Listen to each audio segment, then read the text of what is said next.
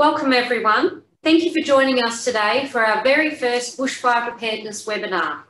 My name is Erin Hutchins and I'm the Coordinator of Emergency and Ranger Services here at the Shire of Dardanup. In preparation for the fire season, we thought we would get creative and try something new to engage and support our community as traditional methods were becoming a little lackluster. Coupled with the increase and severity of fire events in the last few years across Australia, we believe sharing knowledge and sparking conversation would be a better way. Increasing our resilience to emergencies, such as bushfire, is a shared responsibility that we can all do together. Today, we have a variety of presenters sharing their expertise on bushfire preparedness with us all. First, I'll hand you over to our Business Solutions team leader, Zach, for a little housekeeping before we get started. Thanks, Erin. Hi, everybody. I'm running back from behind the camera here. I'm the guy behind the camera pressing all the buttons. I'm, I'm Zach. I'm the Business Solutions team leader here at the Shire of Just wanted to go through a couple of things for you today and how we're going to run the session so that um, any technical difficulties can be dealt with and um, we're able to um, help you out uh, with your questions that you might have. So if you're experiencing problems, the best way to get in contact with me is my mobile. Get me on 0428 738 254. If you give us a call, I'll talk you through any issues that you're having. Um, just need to let you know that we are recording the session. So um, we'll be using this to put on our website later on so other people can view it. Um, there's a couple ways that you can ask questions in today's session. You have the option to use the chat window in Zoom. Um, I'm sure a lot of you are familiar with Zoom given COVID that's just happened, but you'll see it at the bottom of the, the video. There's a chat window. You just click on that, put your question in, and uh, we can address that. The second option is to use the raise your hand uh, functionality in Zoom. You'll see that um, at the bottom as well. And if you click that button, I'll know that you have something to say. And the third one is just old school, write it down on a piece of paper. And when we come to the end of a presentation or the Q&A session at the end, then um, we can uh, unmute you and let you ask that question. We will be stopping for questions at the end of each presentation, so you have the option to ask a question then, or you can save them up for the Q&A session um, right at the end. Uh, I think that's everything I wanted to go through. So um, once again, thank you for joining, and I'm really looking forward to hearing uh, the information about fire safety today. Thanks. Thank you, Zach. Now I'd like to welcome our Shire President, Councillor Michael Bennett, for the Welcome to Country. Thanks, Erin, and uh, welcome to everybody. Um, I'll just do uh, the acknowledgement of country and then I'll just uh, thank our presenters, if that's all right, Erin. Um, the Shire of Dardanup wishes to acknowledge that this meeting is being held on the traditional lands of the Noongar people. In doing this, we recognise and respect their continuing culture and the contribution they make to the life of this region and pay our respects to their elders past, present and emerging. Uh, Erin, just uh, I'd like to thank you and the, uh, the team under the Sustainable Development Directorate uh, for putting today together. Uh, a great initiative, something that's really fantastic for, for our Shire to be able to get out and let people know how they can help in, in before bushfires happen. We don't want them to help after they happened or during. We don't want them to happen. So thanks to all the presenters. Really appreciate the effort that you're putting in today uh, on our behalf and for our community. So thank you to you all, and I hope you have an enjoyable webinar. Thank you. Thank you, Councillor Bennett. Now, without further ado, we will turn over to our very first presenters, our Chief Bushfire Control Officer, Chris Hines, and FCL the Ferguson Volunteer Bushfire Brigade, Rick Stacey. Thanks, thanks, Erin. Um, it's a, a, privilege to participate in today's uh, activity, and, and, particularly with my team member here, Mr. Chris Hines. Uh, Chris is a very um, experienced firefighter at both firefighting level and a uh, fire control level in our district and has also worked extensively in fires around the state. So in a moment, uh, we'll be uh, picking his brain, so to speak, on some key issues that uh, landowners need to be concerned with uh, in the immediate future for the upcoming fire season. Uh, so this section is called Message from the Chief. And the, the, the, way we'll do this is I'll ask Chris a number of questions on your behalf, and then we'll open up to the general public if, if that's, uh, that's okay. Now, Chris, what are your thoughts on, on the current fire season? How is it shaping up? Yes, it's certainly shaping up all right. We've got a, a nice end to the season with a, a lot of good rain. So people will be seeing out the paddocks. There's a lot of long, lush grass, and um, people are starting to mow now and turn into hay. And there's going to be still a lot of fuel left out there. Um, grass doesn't get turned into hay. So that's all going to turn into a nice uh, fire um, carrying fuel. Um, yes, it's going to be an interesting year. We have our La Nina for this, um, this season. And that's going to uh, present us with varying types of weather conditions. Uh, just a steady hot summer and uh, excellent. Okay, so, so like most fire seasons in our area have its uh, challenges. Um, I guess it doesn't matter whether we have late rains or early rains, every fire season in our region is, is a challenge, that's for sure. Uh, you mentioned about haymaking, of course, in some of our areas, uh, haymaking does reduce the fuel load, but of course in my own area, for example, in the Ferguson district, uh, our area is characterised by a mixture of uh, rural subdivisions, uh, rural land, rural subdivisions, small holdings, um, combined with very steep terrain, uh, strong easterly winds in the summer, and so on. So even though there's a lot of fire removal, we rely very heavily on our landowners to um, do as much preparation as possible. Now, in, the case of it, well, when people are predicting their uh, fire risk, Chris, uh, some people take comfort in the fact that they're, they're, a reasonable distance away from forested areas or farm areas, for example, in our Eaton subdivisions. What are your thoughts on that? Do they, do they need to be worrying about fire preparation? Yeah, we all need to be worried. Um, yeah, certainly uh, in the uh, town site of Eaton, we are surrounded by bush and, and a lot of grasslands as well. So, uh, possibly about eight years ago, we had a pretty good fire impacted from the, uh, from the uh, south across the Forrest Highway. That Forrest Highway is quite a, a large uh, bit of um, cleared land, but uh, the fire made it way across that, that highway within probably 15 minutes of the starting. And, and there's that bro broaching of the highway, that's not due to direct flame contact, is it? It's due to, I presume, ember. Ember attack, yeah, that's right. Because, uh, the fire starts off out in the bush. Doesn't take long to travel with a good wind behind it. And she's got top of the trees and blowing lots of sparks across the road and dropping in people's backyards, and um, there's a lot of panic going on there. So potentially with, with adverse conditions like a strong easterly, um, what sort of distance should we be worrying about uh, ember attack? Are we talking metres or kilometres? I've seen kilometres. I was at the uh, Coolup fires uh, probably seven years ago, um, and I saw a spot fire start like five kilometres down the hill from where we were uh, and then daytime turns to night time. So it can happen very, very quick. So the, so the message in that for landowners is that uh, under the right or under the wrong conditions, under adverse conditions, we can get uh, spot fires some kilometres up to five kilometres possibly ahead of a fire front. So uh, even though you consider the direct fire front a risk, uh, you may be at risk long before a fire front gets anywhere near your property. So uh, and that's why we have an appropriate warning system, which will be discussed later on in, in the seminar as well.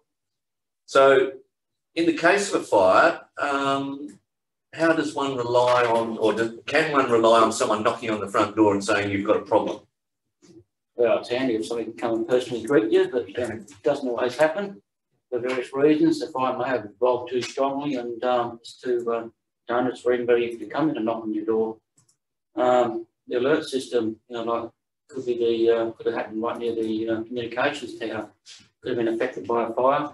You may not have communications, so you need to be aware of what's going on. Um, don't just rely on your mobile phone to uh, tell you it's time to get out. You, you need to be across it. Be aware.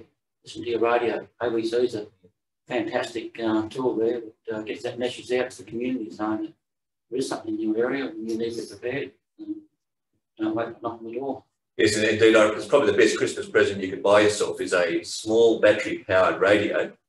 We rely very heavily these days on mobile communications and on the internet, but the reality is that uh, those services can drop out quite rapidly in a fire, as they did in the Yarloop fire, Chris. They, they dropped yeah, out for a long time. It did. I witnessed that. I was at Yarloop myself and uh, yeah, trying to get information back to control, and uh, the phone was just kept on dropping out. So it was rather frustrating. And, uh, Um, and, you know, combined with the uh, radio traffic, things do get rather hectic. So, uh, yeah, you certainly can't rely on um, your mobile phone for your tool and uh, get communications out. Sure. We've had official advice from Telstra at one of the meetings here that uh, generally only have two to three hours of uh, mobile communication after the power goes out. So for any fire, a fire that's going to last any length of time, and typically dangerous fires are lasting for days, it means you may be out without mobile communications for a long time. So that's where your battery power radio comes in handy because the trusty ABC continues to broadcast under all sorts of conditions. So make sure you tune into 684 AM uh, from Busselton I think that uh, probably applies to most of our district uh, for your latest uh, information on fire situations. So when a, when a fire brigade's called out, Chris, what, what priorities do we have? Are we, are we most concerned about livestock or buildings or now what, what, what's the key priorities? People. People's my first priority. Make sure they're safe. Um, and then we can deal with property. Property can be replaced uh, stock, livestock, same thing. You know, we certainly want to get them moving on, but this is part of the knowing what's going on. If, you, if there's a fire in the area, no wait for the fire to get there, or about moving uh, horses or something, you need to be onto that early, you know, day before, especially if there's a, uh, been an emergency, a, a, warning put out that uh, you have potential fire weather, you need to be making, taking action, not, not waiting for it to happen. That's right. I'd, I'd, like to back that up. I mean, that's my observation early in a lot of fires. We're faced with a lot of traffic on the roads, with horses being moved around, livestock.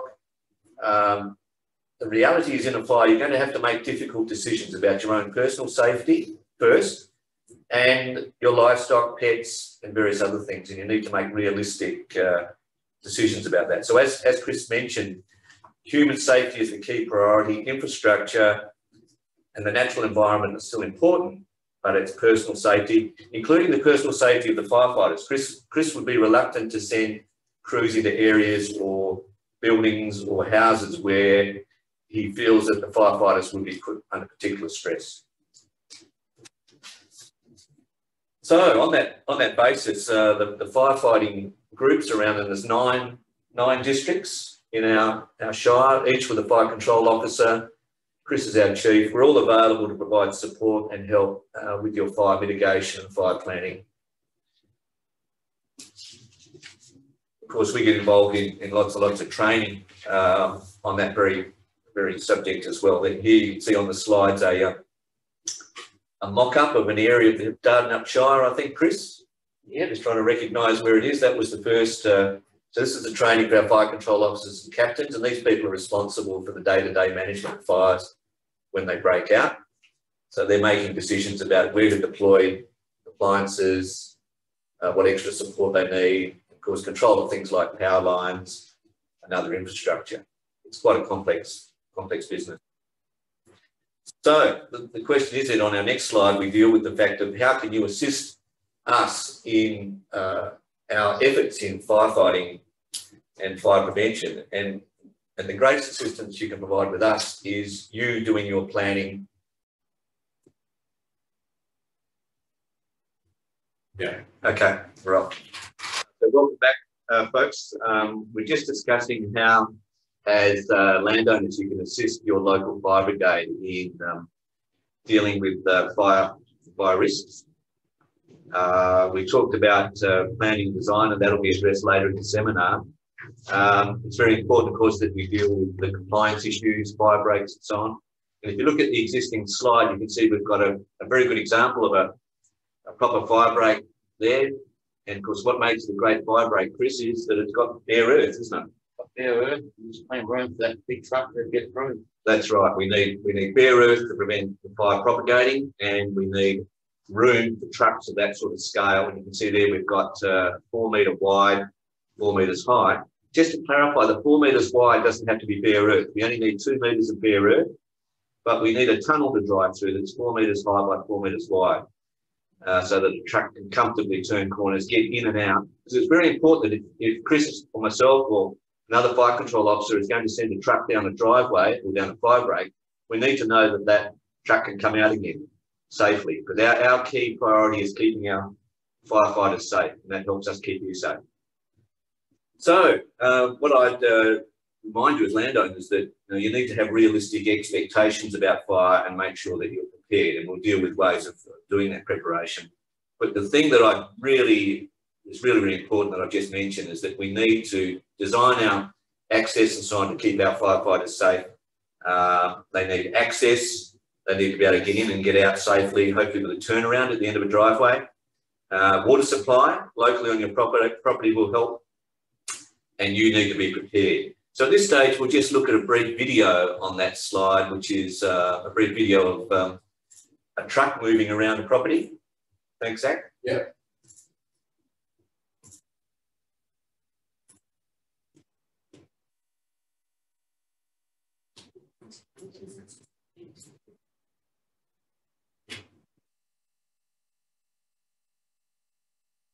What the video would be showing, if we had, oh, here we go. Okay, Zach's just getting the video organised. This this video is taken um, from some uh, fire scenes up in the Mandogalup area. It's a lovely sunny day, no smoke at ground level. It's a good fire. Here we go. I just get the sound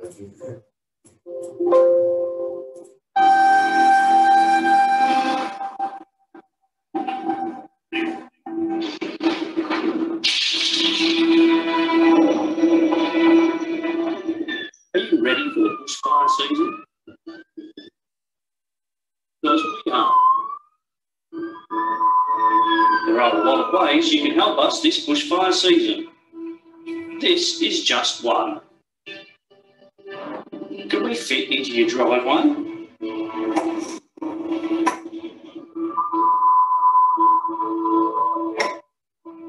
We can't fit, we can't help. Before this bushfire season starts, make sure your driveway is clear of obstructions. Allow four metres high and three metres width so that fire trucks can easily get through to defend your home. We're bushfire ready. Are you?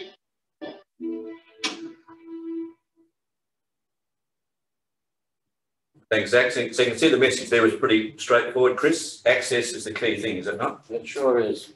Uh, but our trucks can't get in there, how can we come defend your property? No, you might well, you'll be on your own. So, uh, don't depend on us, if you haven't prepared your driveway. At the same time, we only have so many trucks too, so that's why you need to be prepared yourself. Have your hoses, your, your water supplies, anything that you can use to put a fire out, be prepared. Um, you- we might not be able to get there in time. Now, you mentioned, Chris, that um, there's only limited resources. Just to give uh, listeners an idea, how many appliances do we have in the Dardanup Shire? We have nine.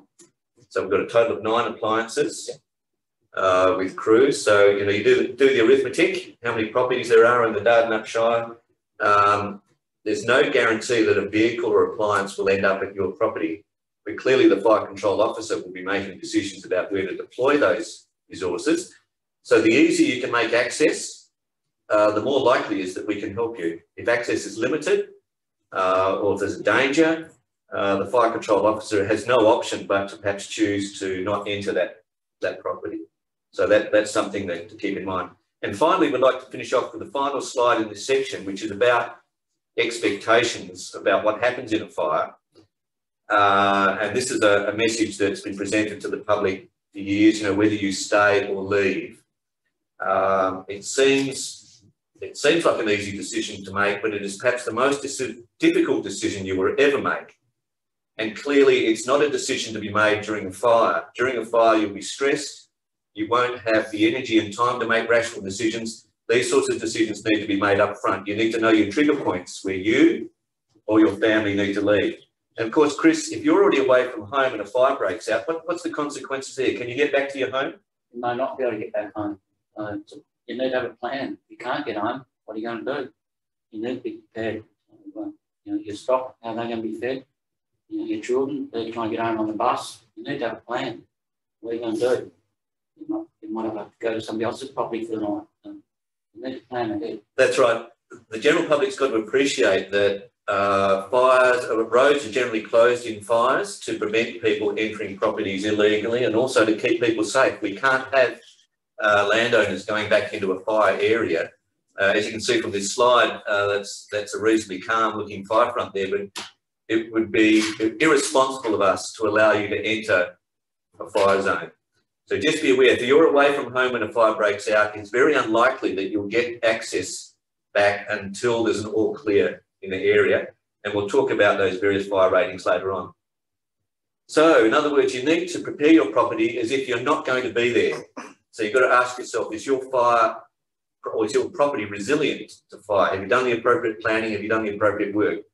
And you need to be able to survive not being home and, consider that you you've done the best that you can to protect your property. And of course, your property affects the, the adjoining properties as well. You need to make some hard decisions about priorities, stock, horses, pets, chooks, whatever, kids, whatever, family. Um, now, we're just we're going to finish off with a movie. It's only a one minute movie. Uh, just a, a, warning on this movie. It's quite confronting. It deals with some scenes. Um, they're realistic scenes. It's a dramatisation, but it's realistic, and it deals with three families in three different situations, which is quite typical. So we'll kick off with this movie. Um, if you've recently been through a fire and you're suffering some trauma, it would be worth not looking at this video. We'll, we'll let you know when the video is off because you'll find it re-traumatizing, I'm sure. Um, but I make no apology for choosing this video because I think very important that we give you a realistic impression of what happens during a fire. Fires are totally unpredictable, are they not, Chris? They can arrive, they don't arrive during the day generally, they arrive at night in the dark with choking smoke. So this is a video, I think, produced by uh, the fire authorities in New South Wales. Here we go. Thanks, Zach.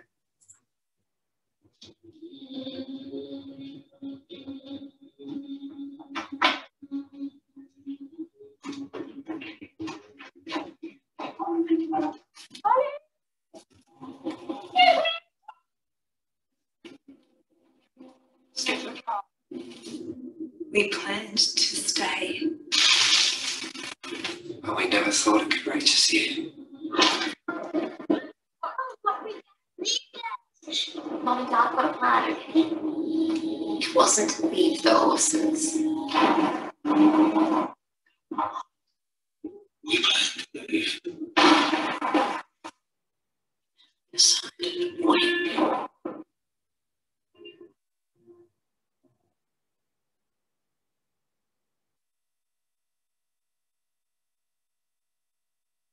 Ask yourself, how fireproof is your plan?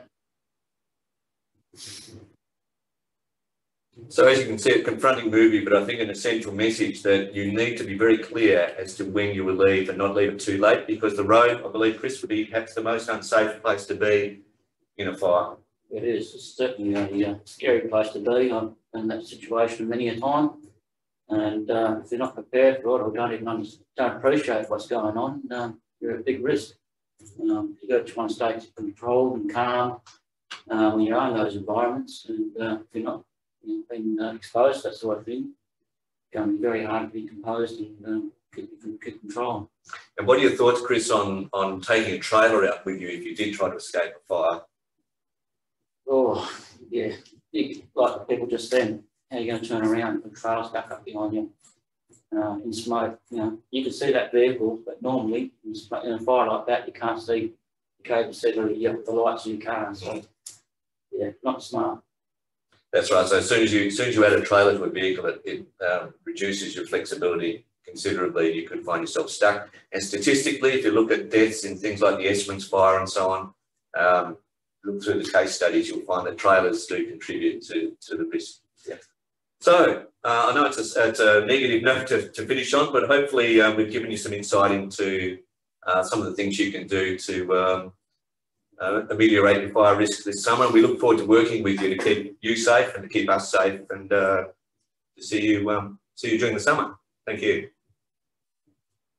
Thank you. Thanks, Chris and Rick. We always appreciate your time sharing your wealth of knowledge with us all. Um, Zach, did we have any questions? Uh, no questions in the chat just yet. Um, no. Sure, no worries. We'll keep moving then. Next, we have the captain of our Wellington Mills Volunteer Bushfire Brigade, Keith Hyam, who will share his experience from deployment to the 2019 Eastern States Black Summer Fires. Hi, thanks, Erin, for the introduction. Um, yes, as Erin said, my name is Keith. Um, I've been a volunteer firefighter for about six and a half years. I'm married with three beautiful kids under the age of 10, so my life is quite hectic uh, beyond the demands of fire season. Um, as a volunteer, you need great support from your family um, and employer to do what we do. I'm lucky enough to have both. Uh, I'd like to share some stories from my experience of the Black Summer in New South Wales. There are lots of stories. There isn't time to share all of them today.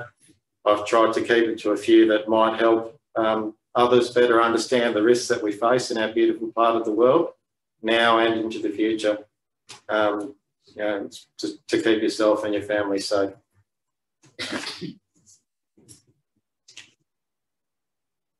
Uh, so last summer I was deployed to New South Wales on two separate occasions uh, in November and January. Uh, very early in November, there wasn't a huge amount of media coverage, um, at least in Western Australia, about what was going on in New South Wales. Uh, I was in Sydney only a couple of weeks prior to being deployed and I don't remember hearing anything, um, even in New South Wales, about the situation that was developing. I can sort of remember hearing some stuff on the news um, and social media, but I hadn't thought it was anything out of the normal at that point. Um, one Friday afternoon, I remember getting a text message from Chris uh, regarding a possible week-long deployment to New South Wales. Know, I, I thought that'd be a really good opportunity for me to get some more experience prior to our own season kicking off. I discussed it with my wife, who was supportive of the idea. I filled out some paperwork and sent this back to Chris. And from there, it all happened very quickly. Um, the following Monday, I was advised that I'd been selected um, and had to sort of wrap up my normal normal life things uh, in a hurry, trying to get clearance from work, um, you know, telling the kids what was going on. Um, and then on Tuesday, uh, I met up with the rest of my strike team in Perth and we flew out on Wednesday morning. So you can see it was fairly quick. Uh, the team comprised of a few other volunteers from the southwest, uh, but also volleys from lower southwest, Great Southern, Goldfields, Metro, uh, and Midwest, along with a couple of experienced career officers from DFES. Uh, there really wasn't much detail on what, uh, where we were going or what sort of work we would be doing.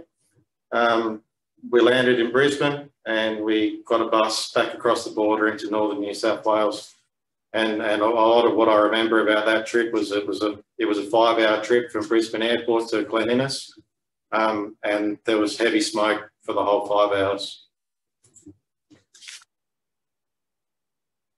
Put it into perspective uh, of what we what we saw when we got there, the 2016 Yarloop fire uh, burnt approximately 70,000 hectares of land.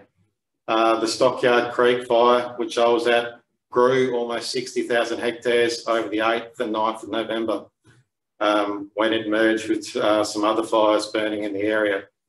The weather conditions were extreme over those two days. Um, above 40 degrees, winds to 50 kilometres an hour. Uh, combine this with fuel that is super dry from a couple of years of very, very low rainfall. Um, it was the perfect mix for a very high intensity, very dangerous fire you know, this monster of a fire, we had flame heights at the top of the to the canopy. Um, you know, Chris spoke about spot fires before. We were seeing spot fires starting 10 kilometres ahead of the fire front. Um, there's nothing that can be done to stop fires in those conditions, even for the most well prepared. Uh, I've never been to a fire where there's been properties and life lost. There was properties and life lost. Um, firefighters were seriously injured. Um, yeah, uh, a resident um, in the area we were looking after was killed um, when they stayed too late.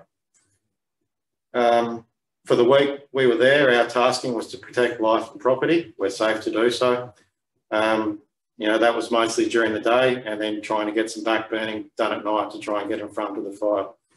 Um, we used very, very little water. There was no water available. Um, you know, we were, we were told that uh, water is purely for protection of life only. Um, you know, we worked hard as a group, uh, WA Fireys. We, we made friends with a lot of the local RFS guys over there. Um, you know, we were a bit of a novelty for them, I think, uh, being from WA. In those conversations, you start to get some insight into what's been going on um, in New South Wales leading up to that point and how stretched the resources were. There were there were fireys that were on their they weren't on their first deployment, they're on their second and third deployments two months into the into the fire season. Um, I remember a conversation with the captain of the local brigade, whose name was Chris. Um, he was the incident commander at this fire. Um, and at the point in time that we were there, he, he'd been working on fire every day for two months already, and this is early November. Um, Chris was a guy who ran his own construction business. He hadn't been on site for two months. Um, he'd only been home to sleep um, and shower. Uh, luckily enough, his wife was also a brigade member and she was sitting in the seat in the Land Cruiser next to him the whole time. Or, you know, um, under similar circumstances, I think a lot of volunteers would end up divorced, unemployed, and um, without a house. Uh, that same week, New South Wales declared a state of emergency, and um, things really started to ramp up. Um, I think it took me a while after I got back to really process the experience that I'd had. Um, it wasn't for a few weeks that you know it started to become a bit clearer to me. Um, certainly, I've learned some new things about firefighting, uh, particularly dry firefighting um, and leading crews. Uh, but meanwhile, on the ground in New South Wales, things were going from really bad to diabolical. Um, it was all over the media in a similar way to what COVID is currently. Um, I found myself watching that on the news a lot. Um, I understood from my deployment that the locals were very stretched. Um, we had you could see strike teams from all over the country being deployed to assist.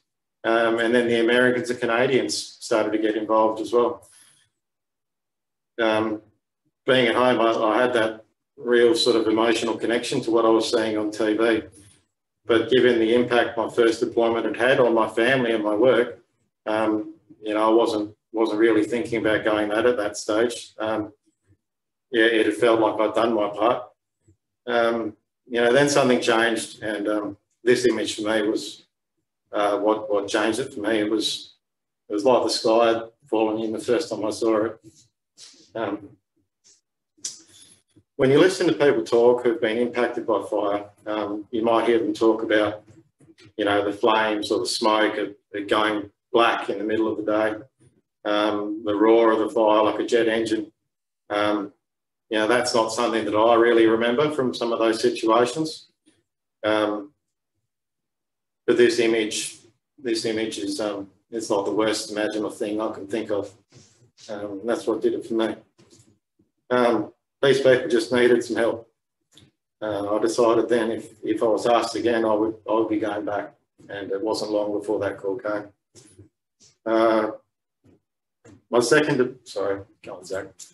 Uh, my second deployment was to the border region between Victoria and New South Wales along the banks of the Murray River. Um, beautiful country there. Um, the area surrounding the small town of Jingellic was impacted by fire on, on New Year's Eve uh, before the fire crossed the border into Victoria.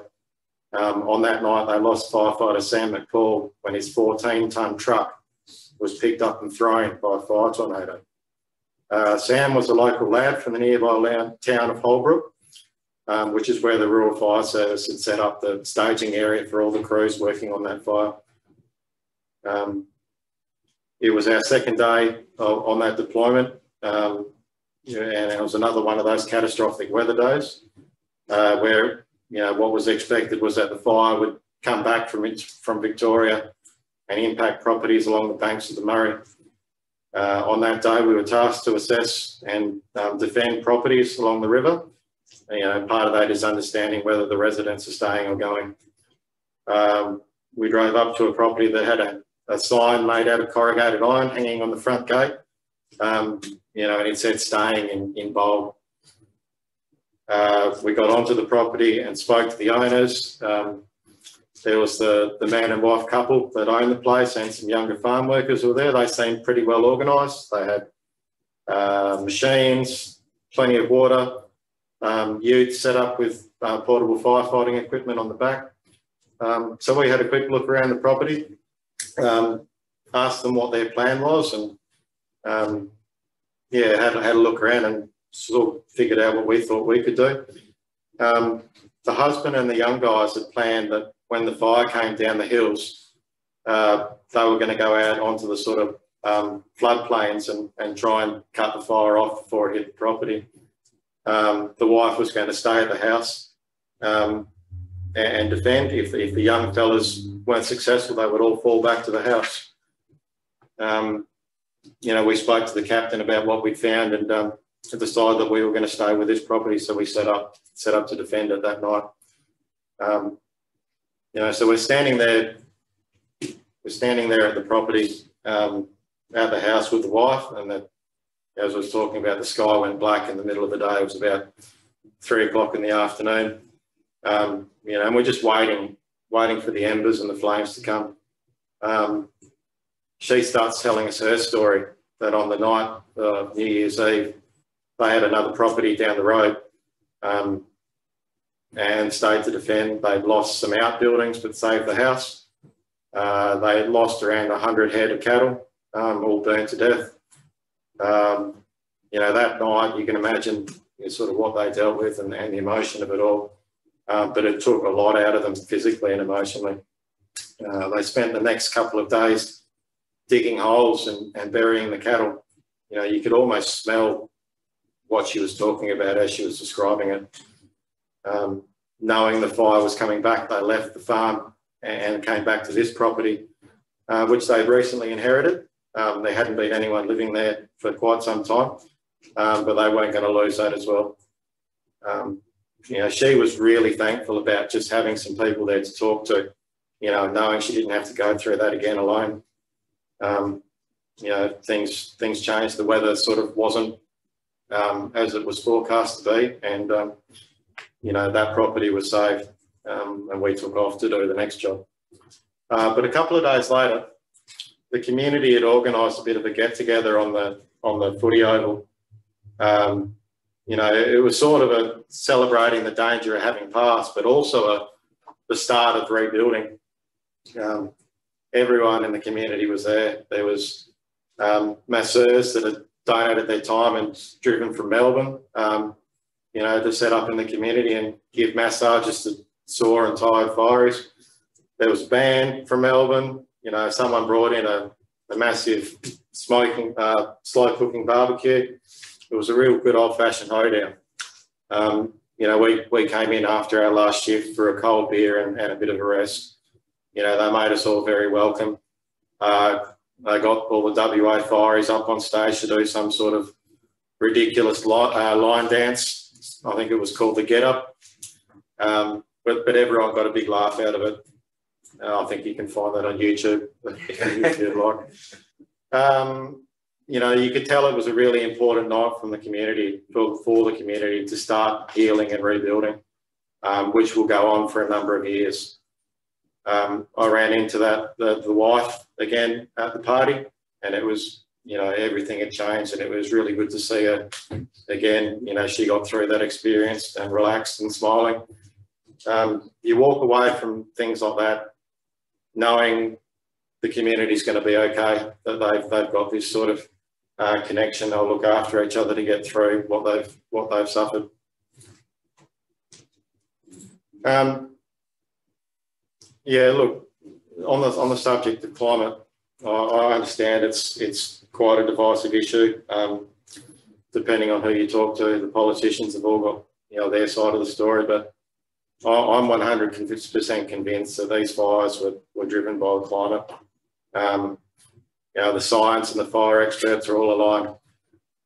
Over time, well, we have been seeing in this part of the country uh, de decreasing annual rainfall year on year um, you know, an increase in the number of days of, of the year above 35 degrees Celsius, generally higher average temperatures, we are going to see more severe weather events. Um, yeah, well, let's all be realistic about our expectations. I think I was um, I was preaching about climate change at the time, but um, so it's it's not the climate that starts the fires, but you know what you will see is much more severe fire behaviour under those conditions um, to the point where firefighters are not able to, there's nothing we can do. Um, so the most important thing you can do, um, you, know, you live in these sorts of areas where you are exposed to bushfire risk is to have a plan. You know, are you staying or going is the fundamental one. And if you're staying, um, does anyone else know what your plan is? What are your triggers, um, particularly for leaving? Um, you know, you, you, can you can plan stay and defend, but have some triggers down the track that, um, that might change that strategy. Um, you know, from what I spoke about, I think it's clear you need to be physically and mentally prepared um, for what you'll experience in that sort of situation. How well have you prepared your property? Um, you know, who's going to help you or are you doing it alone? Have you got the right um, personal protective equipment, um, water supply and fire pumps and all this sort of stuff? Um, if it all does turn to custard though, where are you going to go? What, what is your refuge place? There's a whole lot of things to think about, um, which is why the tools developed by DFES um, are really great to make it as simple as, for people as possible. Um, you know, also as Chris spoke about, you cannot rely on a fire truck coming to your place.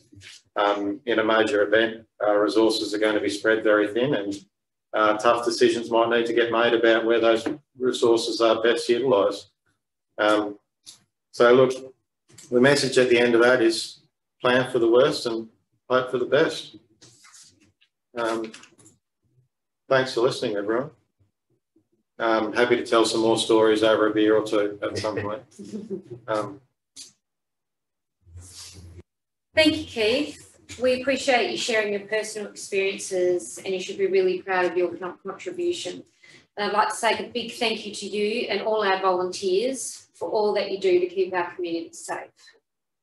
Next, we have Sandy Chima, the, oh, sorry, before we jump to Sandy, do we have any questions, Zach, that have come through? No questions on the chat yet. I'd just like to remind everybody that if something pops up for you during a presentation, just write it in the chat and, and I'm watching it, so you will be able to ask those questions directly after each presentation.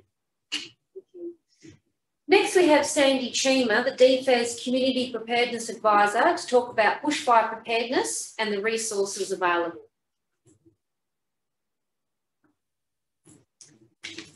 So welcome everyone. My name is Sandy Chima. I'm the Community Preparedness Advisor Southwest at DFES. Today, just get you the next slide. Today, within our session, we will look at Know Your Risk, Planning for Fire, Preparing Your Property, Fire Danger Ratings, Bushfire Warning Systems and Information Sources.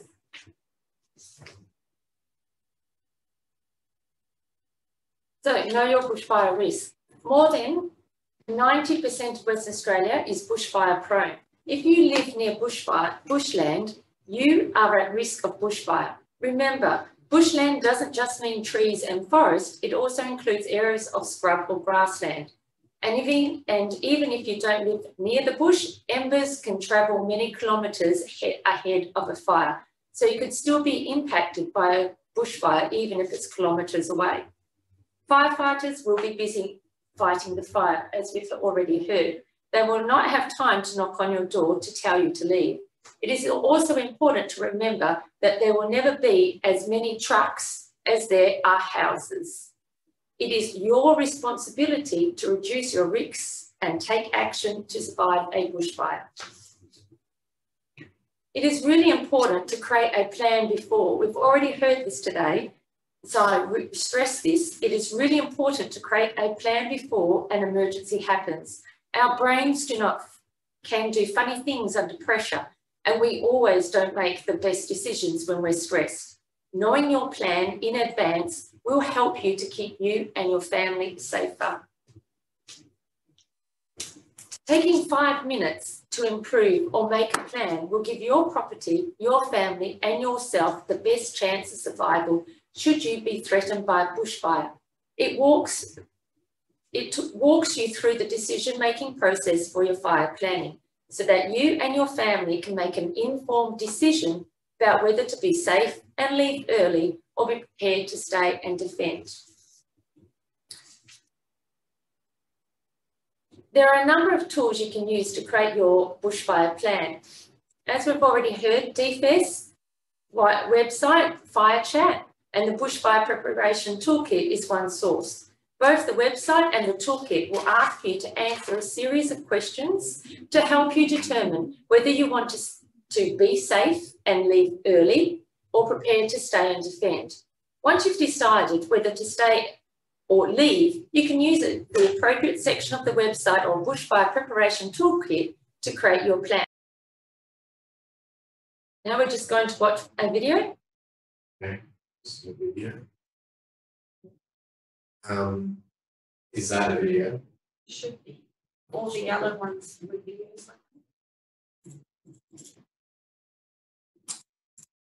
Um, Not linking in.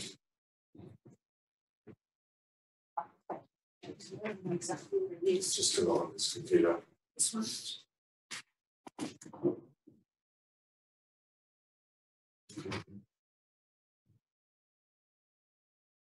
While we're waiting, um, if people have not seen the big weather, it's on ABC iView on ABC. You can still um, watch the ABC iView. There are other videos that you may want to watch. Um, we're going to be talking in a moment about packing for an emergency kit, and there is an example on YouTube. Uh, it's called YouTube Big Weather um, to do with evacu uh, packing Ready to evacuate. ready to evacuate, yes. But I highly recommend to have a look at the YouTube Big Weather ABC iView.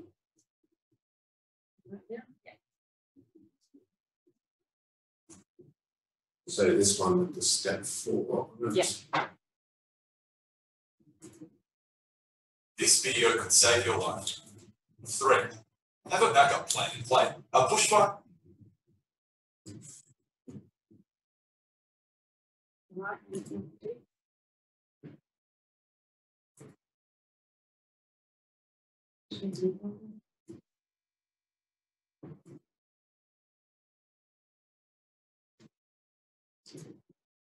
This video could save your life. A bushfire survival plan will help you take action and avoid making last minute decisions that could prove deadly during a bushfire. So gather the family around and complete the following steps. One, know the fire danger rates and bushfire warning systems. Stay informed, monitor local conditions, and be prepared to make your own decisions. Two, discuss what you do if a bushfire threatens your home.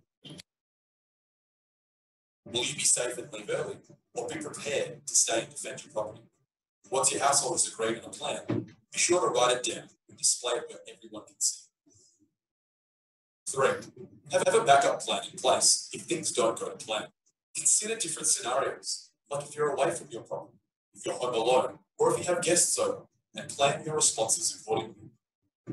Four, know where you can shelter safely if there is a sudden change in your bushfire survival plan. If sheltering in a building, make sure the room has an internal and external exit, like a laundry. You may also shelter safely outside in an area that has already been burnt, like a paddock. Planning for a bushfire is easier than you think. You can't outrun it or outlast it, so plan to outsmart it. For more tips, visit dfes.wa.gov.au forward slash.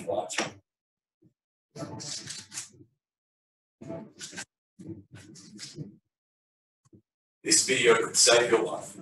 Our bushfire survival plan will help you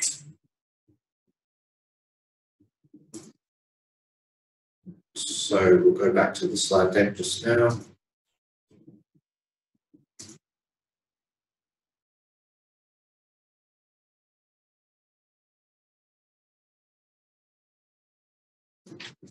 So this is from the packing and emergency kit slide.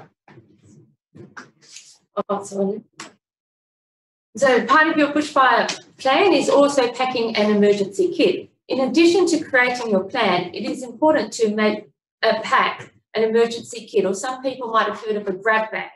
Having a kit prepared can save precious time during an emergency and ensure you have all the essentials. Remember, our brains don't always make the best decisions under stress, so you may end up with essential items missing if you don't prepare in advance. If your plan is to be safe and leave early, you may be away from your home for several days. If your plan is to be prepared to stay and defend, you may lose access to utilities like power, gas, or water. Make sure your emergency kit is well stocked with essential items. For example, portable battery operated AM FM radio with extra batteries, as we've already heard this morning today. First aid kit and manual, essential medications, copies of important documents, scanned and save these documents on a USB stick to include in your kit, and non-perishable food items and can openers are just some examples. Preparing your property. Whether you plan to stay or leave, there are a number of things you can do to prepare your property and reduce your risk. The Bushfire Preparation Toolkit, an online platform, contains information to help you prepare your property. Property preparation should be undertaken all year round. In fact, many of the tasks you undertake to prepare your property for bushfire will help reduce you, your risk from other hazards such as storms. Understanding fire danger ratings. An important part of preparing yourself and your family for bushfire is understanding the fire danger ratings. It is a common misconception that fire danger ratings tell us how likely a fire will occur on a given day. However, this is not true. Fire danger, danger ratings actually tell us how dangerous a fire will be if one starts.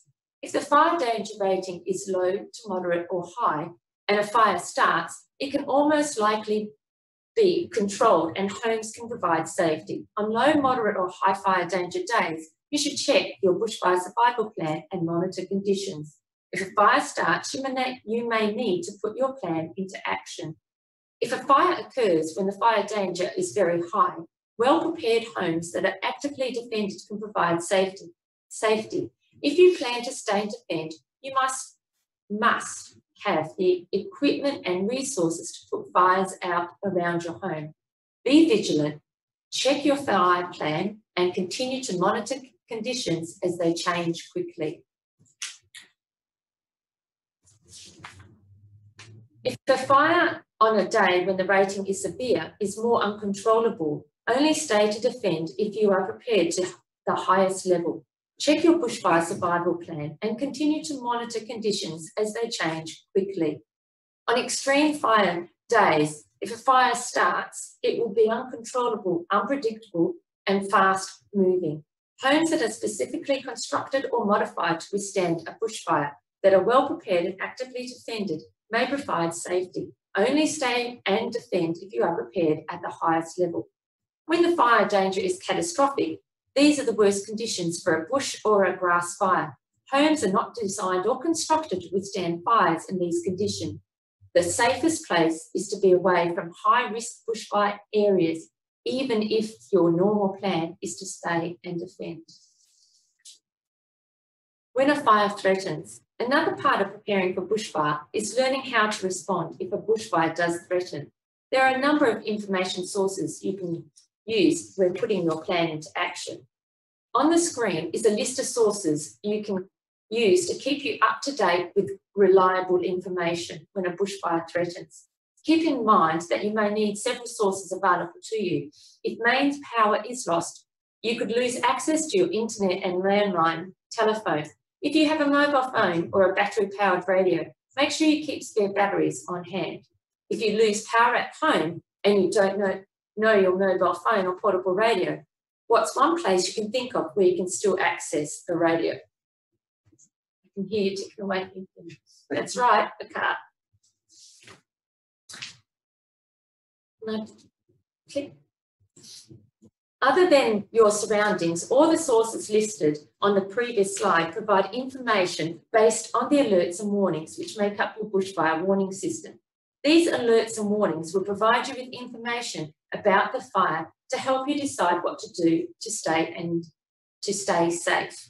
No matter where you live or work in the Shire of Dardanup, it is important to understand the different alert levels in the bushfire warning systems and what they mean. Today we'll show you how the alerts and warnings appear on the Emergency WA website. This picture on the screen above shows the desktop view of Emergency WA. You can see the information in that view and a list down the side. If you have location services turned on your phone or computer. You can even click on the locate me button on the top right, right screen and the map will zoom to your location. I'm going to do a spot the difference. So what I'd like you to do is post this occasion to actually go onto the Emergency WA website and look at a spot the difference. I'll give you a clue. There's a total fire ban and an FDR button on the top banner that is not showing up on this screen here. So your job to go and have a look at the Emergency WA website. Conversely, the view shown on this slide is the version you will see on your mobile device. You can still see the map or list view. You will just need to select your preference and menu across the top. This particular image shows a fire where three of the bushfire warning alerts were current. Let's go through what each of them mean. The bushfire warning system has four alert levels, advice, watch and act, emergency warning, and all clear. These three levels provide information on the severity of the bushfire and the risk it poses to lives and properties. The advice, the blue section in the map, is a fire that is started, but there is no immediate threat to lives or homes. Stay alert and watch for signs of fire. Watch and act, the yellow, which is not a watch and wait see. A fire is approaching and is out of control. There is a plausible threat to lives and homes. Put your plan into action now. If your plan is to leave, leave now. If your plan is to stay, only do so if you're mentally, physically, and emotionally prepared to defend your property and have the right equipment. The emergency warning, which is in the red, an out of control fire is approaching very fast. You must act now to survive. If you haven't prepared your home, it is too late. You must leave now. It is safe to do if it is safe to do so. So, all clear, which is the clear section. The danger has passed and the fire is under control, but you need to remain vigilant in case the situation changes. As we've already heard, indecision is what kills lives. Within the alert, you will find lots of information about the bushfire. For example, the, book, the fire behaviour, what to do, road closures, evacuation centre locations and more. This is the best source for accurate information about the fire. And this is just a video on the alerts and warnings. I'll just switch over to the video now, one moment.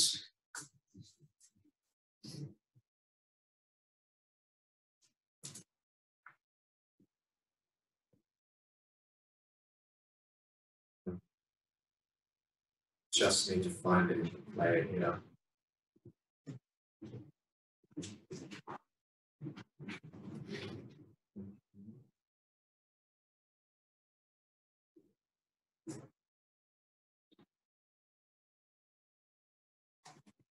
This thing. Okay, just sharing the screen.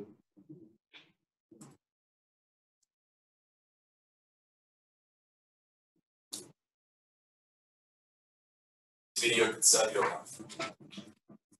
DFES and the Parks and Wildlife Service at the Department of Biodiversity, Conservation and Attractions issue warnings for bushfires that have the potential to threaten lives and properties. So it's important to understand the bushfire warning system and know what to do at each level. Advice. There is no immediate danger, but you need to stay alert and informed in case the situation changes. Watch and act. There is a possible threat to lives and homes. Conditions are changing and you need to leave the area or prepare to actively defend your home.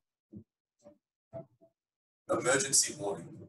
You are in danger and you need to act immediately to survive. Listen carefully as you will be advised if it's safe to leave the area or if you need to take shelter. All clear. The danger has passed, but you need to stay vigilant in case the situation changes. In a life-threatening emergency, or if you see fire and cannot see emergency services nearby, call triple zero immediately. Remember, your safety is your responsibility. Don't wait for an official warning or a text message before you act. To stay up to date during an emergency, visit emergency.wa.gov.au. Thank you, Zach. So, so where to from here? So now that you have all this information, where to from here? Go online to create your bushfire plan.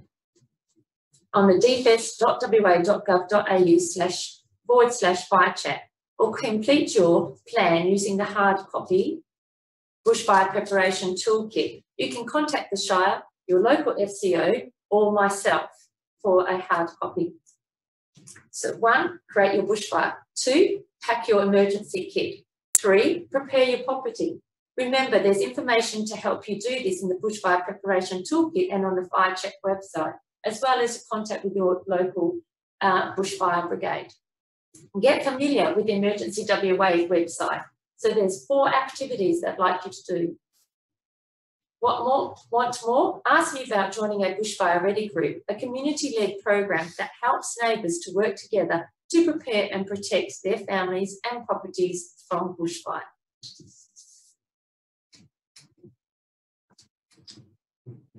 This is another video now. Yep, let me just return it to the video player. One moment.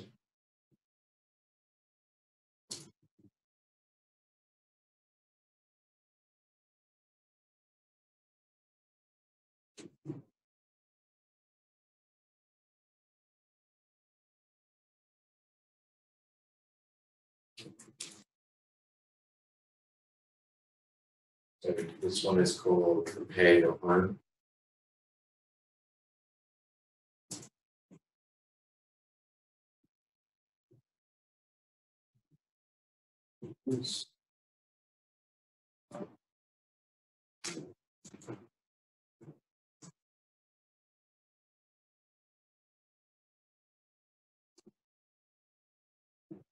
So just to reiterate, I've asked you to do four tasks. One is the bushfire plan. Two is the emergency kit, preparing your breath bag.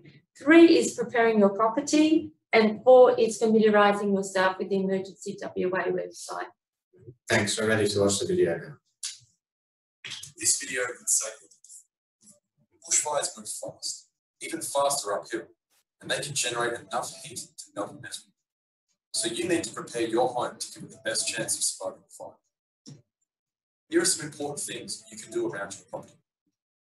Trim long grass, prune shrubs, and remove any resting against the house. Remove wood, mulch, or any flammable material that gets or near the house. Create a minimum two metre gap between your house and tree branches. Block gaps in the floor, roof spaces, eaves, vents, skylights, chimneys, and clay. Also, install metal flywire mesh on all windows and vents, plus a protective screen with evaporative air conditioning. By following these few simple steps, you'll give your home the best possible chance of surviving bushfire. Start today. For more tips, visit dfes.wa.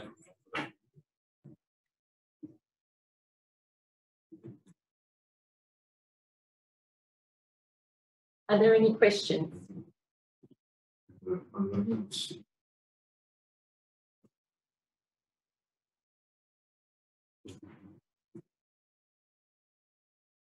Uh, we don't have any questions in the chat just yet. Um, just reminder to you guys, if you think of anything during the presentations, just write it in the chat. We'd be happy to address them at the end of the presentation.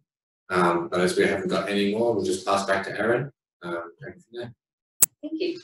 Thank you, Sandy. Some fantastic preparedness information and resources readily available to us all. Now the Shire's Emergency Management Officer, Melissa Howard, would share what mitigation works that are currently being implemented across the Shire to help reduce our risk. Sarah?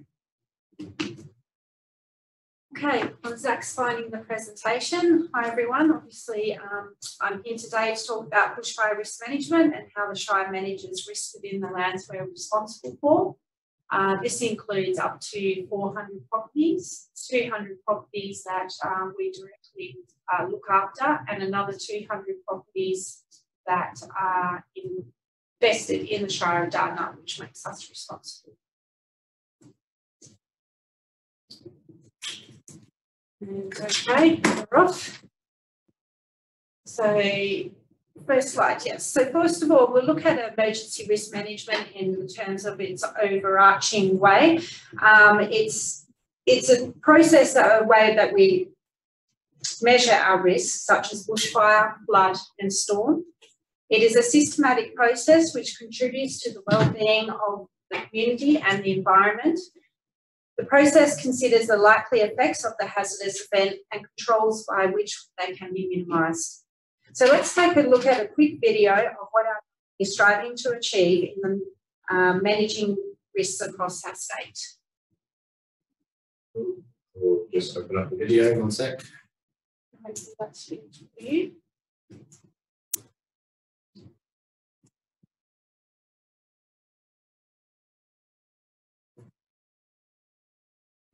It's just opening up now.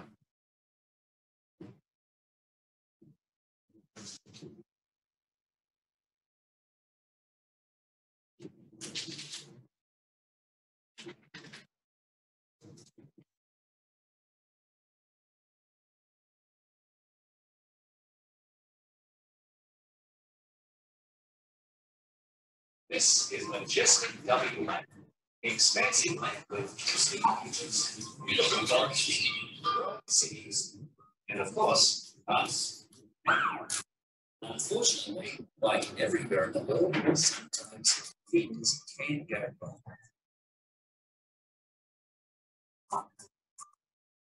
Which could have negative effects our lives.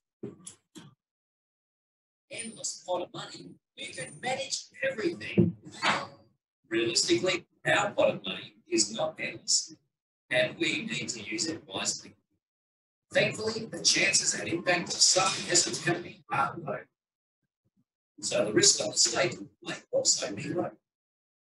But we can't say which are the highest or lowest risks and where they can occur unless we measure them.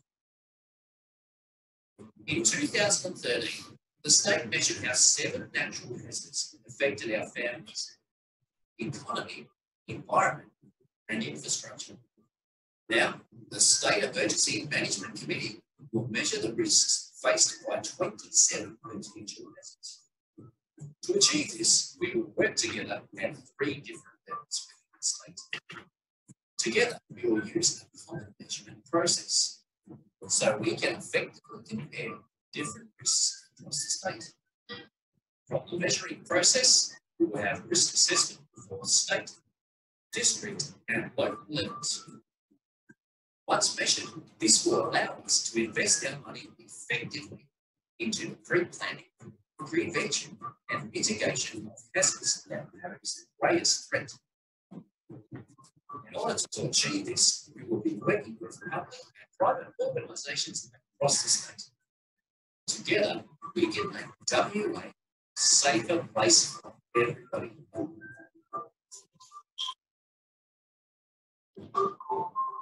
The State Risk Project brought to you by the State Emergency Management Committee.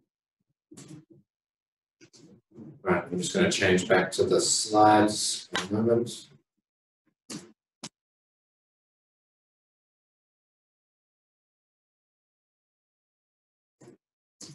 Perfect. Should we go to the next slide? Yes, thanks, Zach. Okay, so looking on the right, that is basically a illustration of the emergency risk management process. Um, this is defined in our Australian New Zealand standards, which is the 31,000 2009 risk management principles and guidelines. So this is what we use this process in assessing our bushfire risk. Um, the objectives obviously of risk management is to effectively manage bushfire related in, in order to protect people, assets and the environment. Document the process used to identify, analyse and evaluate risks to determine the priorities and develop a plan to systematically treat the risks. The Shire of Dardanup has developed a bushfire risk management plan in 2018 and we're now implementing the treatments identified in this plan. Bushfire risk management is a shared responsibility. As dictated in that video, you can see that local governments will be working with landowners, other agencies and um, contractors. Next slide, Jack. So just to give you a little bit of the history of the bushfire risk management, Western Australia has experienced its fair share of devastating bushfires over the last decade. You can see in the purple where our last fires are. The top one there is the Waroona Yarloop fire. The bottom one is the Esperance fires. After each fire, an inquiry has been undertaken to understand the cause and how we can do better at preparing for and responding to bushfires. One of the repeating recommendations that coming up in each of these inquiries is to the need to manage fuels in our bushlands more effectively. Climate change, of course, is contributing to this, and we are drying out um, as the southwest corner of WA. Uh, in the last over the last 50 years, our rainfall has decreased by 20%. So next slide. So coming out of those inquiries and as time has flipped on and we've had our experiences, our government has put together a mitigation activity fund, um, which let's have a look here. So through Royalties for Regions program has been specifically allocated to expand the treatment of bushfire risk associated with state-held lands located in and around regional town sites to further reduce the risk to life property in these communities. MAF supports activities that build the fire management capacity and overall resilience for regional communities.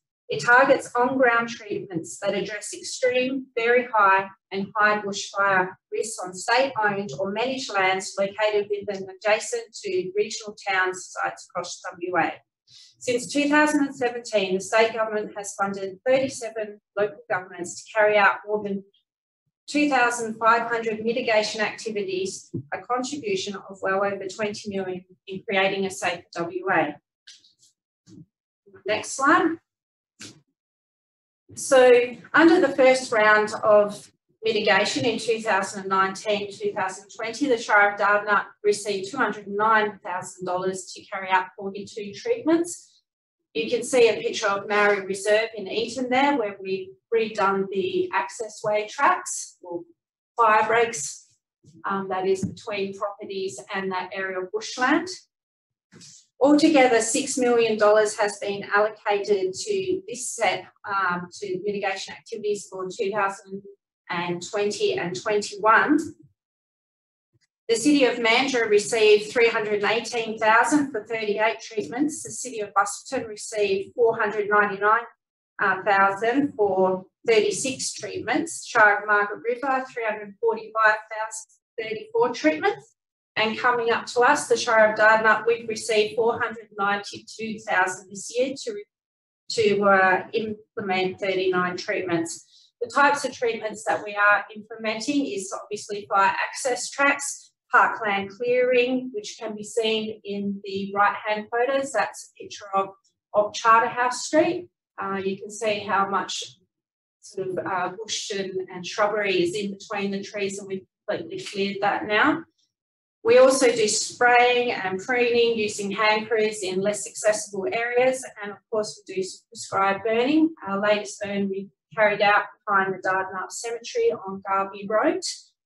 Um, and yeah, so that's basically what we've been up to this year. There is funding for next year. Um, if there's anything you would like to bring to the Shire's attention of lands that we own or are um, responsible for, please don't hesitate to send the Shire an email because we will have a look at it for you if we haven't included it already. Thanks.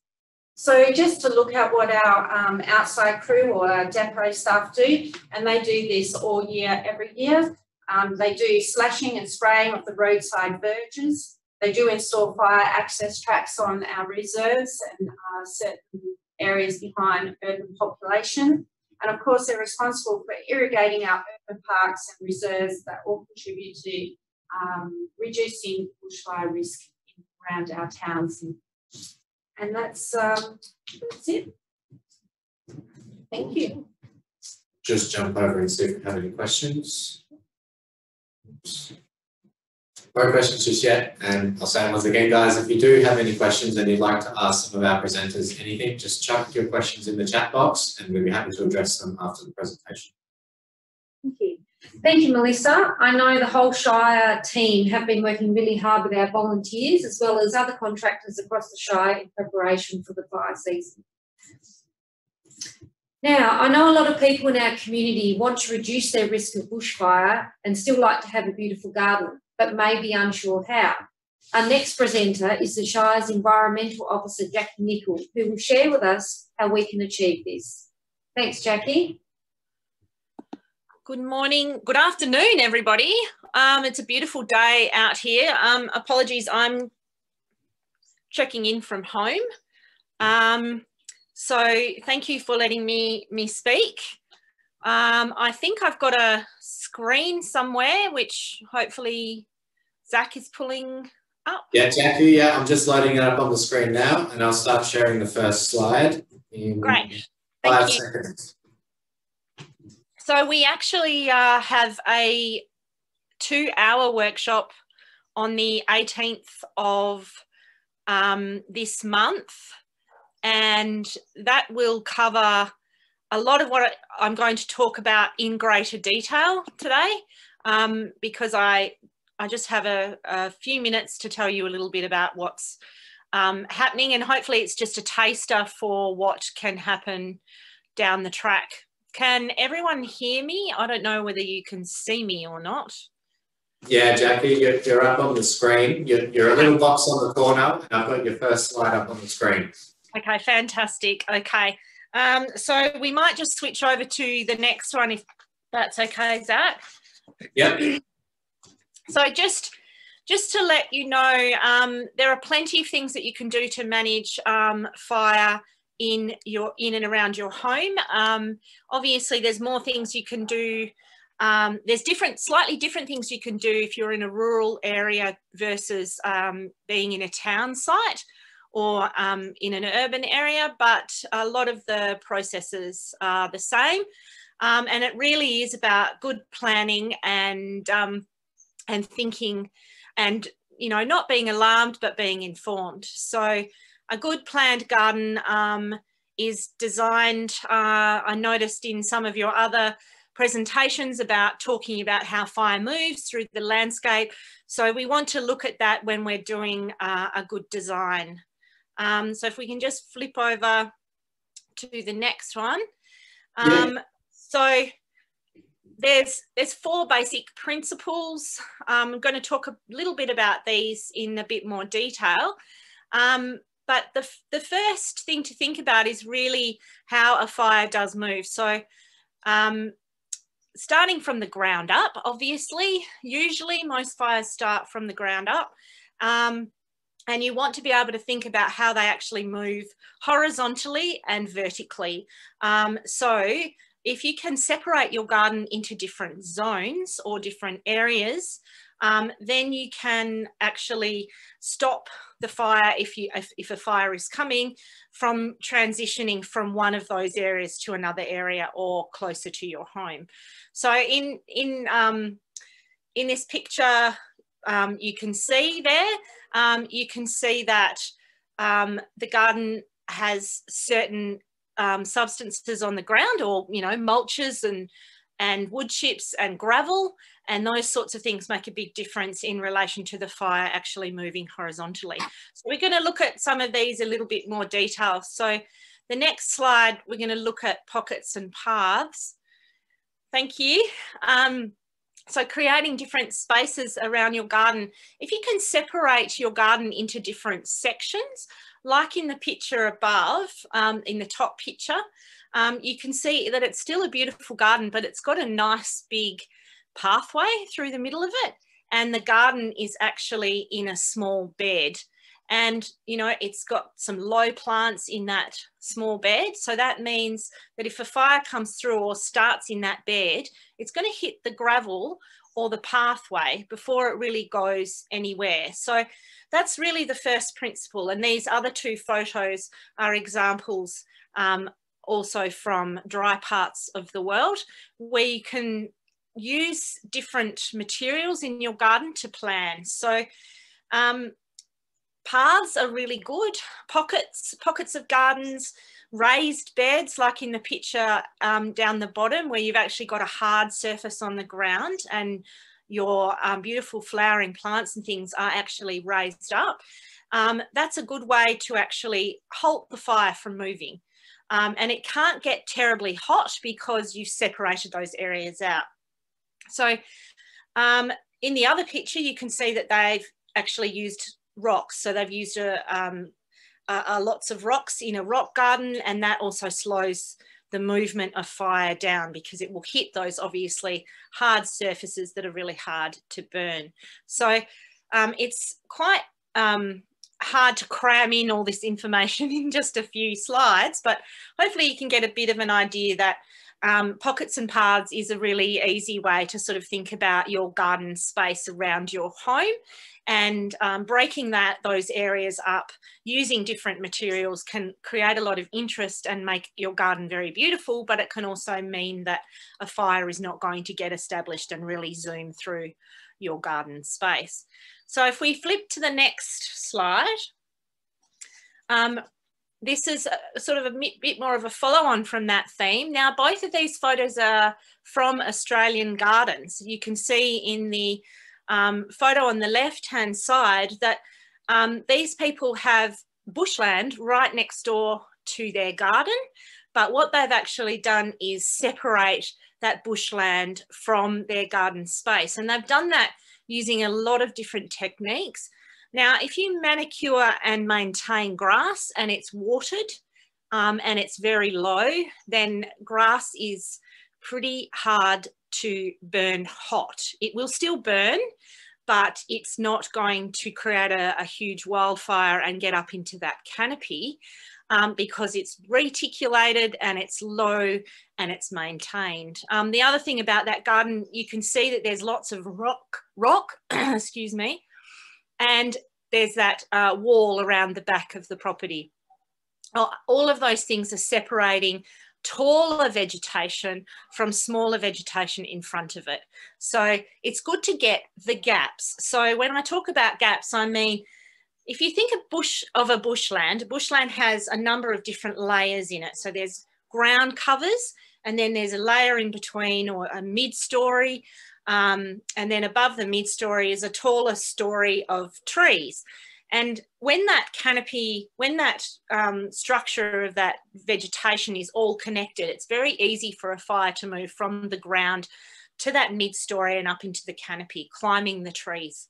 So um, in your garden space, if you can separate those layers out, you can still have interest and make your garden beautiful. And don't be frightened of trees. And I'm going to talk a bit more about trees later, but you can actually put trees in your garden as long as you separate them out. So if you look at the picture on the right, you can see there's a tree in the very background.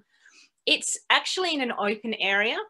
It's providing shade um, it's um, providing interest and it's, you know, a lovely tree, but it doesn't have any mid-story or understory really next to it. It's got some hard surfaces nearby and some other interesting plants in front of it, but quite a way away. And those plants are very low growing. So you can see that there's a bit of a gap between the ground covers and the tall trees. And you want to establish those kinds of gaps if you're in a really fire prone area and you're concerned about fire around your house. Having those gaps means that if a fire does come, um, then it's going to find it difficult to move from one area to another because of the paving or the grass or the mulch but it's also going to find it hard because it's not able to transition between the low growing areas and the mid story and the high story because there's gaps. So that's just a very simple explanation on big gaps. So our next um, slide is uh, thinking about some of the species that we can use. So some plants are more resilient to being burnt than others. Some plants are more flammable than others. It's a simple fact. And um, in this country, we do have um, species that are quite prone to um, burning pretty easily, and they would be our eucalypts, things that are high in oil content. Um, so one of the ways in which you can minimize this is actually thinking about where your plant has come from and using species that are more appropriate um, and less likely to burn. So in Western Australia, we do have a lot of native plants. So these are our local endemic plants, the plants that are found in our region, only found in our region, nowhere else on earth. And these plants are grown mostly on the coast because they have very small leaves, they have a low oil content, and they have a really high um, salt content often because they're very salt tolerant because they grow on our coastline. So often they're grey coloured plants. Um, so if you go for a walk down the beach, you'll often see those grey foliage plants, very small leaves. They are actually fire res resistant, if you like. So um, a lot of those species on the coast also are quite high in water. So sometimes they can be a little bit succulent, um, almost like cactus-like or um, juicy. um, and they're also good because they, they're harder to light as well. So there's a list of lots of different species. I can give this uh, list to anyone who's interested, obviously. Um, but we will be covering this in more detail when we do the two hour workshop in a few weeks. Um, so that's some native plants and they're very beautiful. You don't need to have an ugly garden. You can certainly have a cottage-like garden um, and lots of colour and beauty. Um, but it's it's good to use some of these more fire-wise um, species. So if we flip to our next slide, um, we've got a, a number of species again that are very similar, but they're not native. So these are, our more cottagey plants. They're our cacti and our succulents. A lot of normal grass, if as I said, if it's maintained. Um, fescue and mondo. Um, so the picture down the bottom, just above our Shire logo, is some mondo grass planted in clumps. Looks a little bit like, a, it's almost like a, um, well, I guess it's a type of grass, but it, uh, to me, that's quite a beautiful form. So you can create some beautiful spaces and places in your garden using those sorts of materials. Now, a lot of non-native plants that are um, good for um, being firewise are also the Mediterranean herbs. So um, again, they grow in hot climates, uh, they have very small, narrow leaves and they often have bluey coloured, grey, blue coloured foliage. So that would be things like thyme, rosemary, so long as the rosemary doesn't get too tall, chamomile and nasturtiums and salvia. So the picture down at the bottom with the red flower, that's some salvia. Um, pretty water wise and you can create a beautiful cottage feel with these sorts of species. Of course, you can also grow a lot of creepers. Um, they are quite um, fire resilient, a lot of them. So that would be wisteria, ivy, grapes, um, and jasmine. So those sorts of things, um, as long as you keep them tidy and trimmed, which I'm also going to talk about, um, those sorts of species are, are quite good to resist fire and will often come back after fire too. So if you did end up having an area burnt, you will eventually get those species back. So next slide, we're going to be talking a little bit more about trees. Now, I know that there's a lot of concern in the community about fire and there's also, um, there seems to be a bit of a push um, in some parts of the community um, where they feel that trees are not necessary and that we really should be trying to get rid of them because they're potentially a fire hazard and there's lots of potentially other things wrong with trees. But this slide is to really tell you we really desperately need trees, especially in urban areas. Um, but we also need them on our land um, because um, it's not just us who likes trees, it's also a lot of stock. And trees provide a lot of shade and a lot of very important things. So this slide just um, explains to you uh, that the temperature changes with trees as opposed to an area without trees in the middle of summer. And you can imagine how hot it can get coming off all that pavement.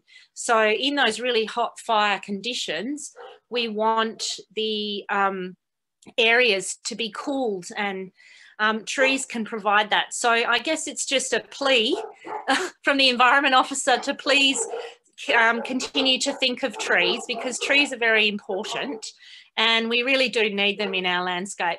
Um, but the way of dealing with them is to try and uh, space them out so they're not too close together and make sure, like in the picture below, um, the, the underneath picture, there's actually nothing between the overstory and the ground. So there's very little um, ladder fuel is what it's called, that area in between. Um, so, sorry, I'm just going to hang on a moment.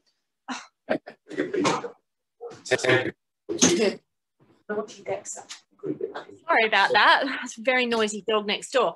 Um, so um, think about the species of tree, and I'm going to talk about that in the next slide. But before we leave that, I just wanted to say deciduous trees are very important. So our native trees aren't deciduous. Deciduous means they drop their leaves in winter.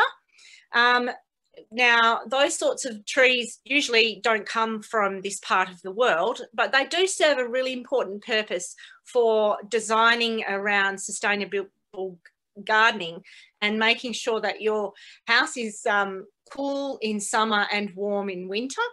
Um, so they allow in winter light and they also um, get rid of um, too much summer, hot summer sun. So deciduous plants are really important to grow and trees, if you're going to have a tree close to your house, it would be really good to have a deciduous tree close to your house. Um, put the Australian trees the native trees a little bit further away from your house because they do have that high oil content. So if we have a closer look at trees on the next slide. Hello, yep, oh, gone, okay. um, so some of the trees that we need to look at, um, it depends on where you locate the trees um, on your property. So this is um, I'm not sure if this is my last slide or not, but um, keeping it clean, I think this is, sorry? Sorry, um, it should be displaying a slide with a house, one house on it some circles around it. Can you see that? Yeah, I can see that, but I'm, miss, I'm missing a slide, but that's okay. Uh, I'll just talk to this one. So I believe this has been covered a little bit in some of the videos that you watched a bit earlier, but you can see that removing things like stacked firewood, raking things from um, around the base of your house, making sure that your eaves are clean. And if you're going to have any trees and they're those um, deciduous trees, they're the ones to have a little closer to your house, knowing that, of course, over winter they will drop all their leaves. So you need to make sure that those leaves are raked and stowed away in time for summer. And they will, of course, green up by summer um, and that will cool your house, um, but they are less fire prone than their native plants. So native trees, you move to that further um, ring that you can see on this plan, have them further away from your house and also space them um, further apart so that they're not going to crown. So if you have trees spaced far enough apart so that you still have tree and they still provide shade and cover and interest, but they're not so close together that they're going to, if one is um, catches fire, then the rest of them will also become flammable as well. So um, keeping it clean, it's been talked about a bit before, but it's really important in gardening, especially um, as summer is approaching, to make sure that your um, your garden and your house around you is prepared for the a fire if it's coming and that all that flammable, loose, dry material is pruned and removed and taken away and um, it's neat and clean so that, you know, when you start to run your, um, so you're prepared for summer. So um, just on to the next slide if we have any more. Yeah, so this is the last slide just to let you know about our, um, this covered in greater detail. Um, it's our fire and gardening workshop um, on the 18th of November, um, 10 to 12. So we really welcome lots of discussion and lots of opportunities um, on that day to discuss um, how we can help make your garden beautiful but also suitable for um, preparing for the coming um, fire season. So thank you very much for letting me speak and yeah, if I've got any questions, I'm really happy to assist. Yeah, I'll just jump over to the questions. Um, yeah, we don't have any questions just yet, um, but once again, guys, you're welcome just to write it in there whenever you like, and we'll address those questions for you. We will have a Q&A session at the end where I think I'll just take everybody off mute and you can just chime in if you have a question. It may be a lot easier for everyone. Uh, so we'll pass back to you, Erin. Um, thanks. Uh, thank you, Jackie. Your passion for our native flora and fauna is invaluable. And um, oh, there you are. So, um, so thanks so much for your time today with that. And um, I think there'll be lots of people interested in this upcoming workshop. So I hope that goes well. I hope so. Thank you, Erin. Thank you. Okay, Zach, so do we don't have any further questions? No questions. Okay. So if anyone does think of any further questions after we finish today, please contact us here at the Shire Direct and we'll uh, try and assist you. Um, that brings us to the end of uh, today's webinar. Um, I'd like to say a big thank you. We do apologise about the connection issues that we have had throughout. um, today. So it has been a pleasure being with everyone today. Thanks to our presenters for making yourselves available. Um, we appreciate you taking the time to be here with us. Um, thanks to Zach for all your assistance with all the technical issues that we've had today. Um, and thanks again, um, everyone, for joining us today. And if you'd like to see today's webinar again, it will be made available on the Shire of Dardanup YouTube channel. So just a, a last thank you to everyone.